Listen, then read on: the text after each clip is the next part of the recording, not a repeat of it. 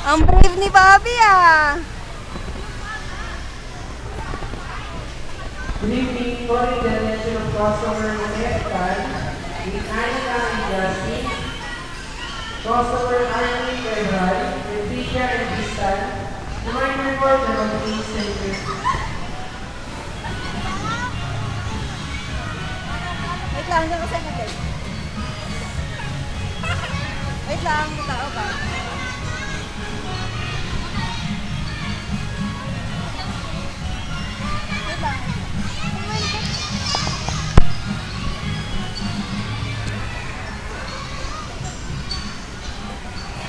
Oh, game, game na. Game na. Oh, game.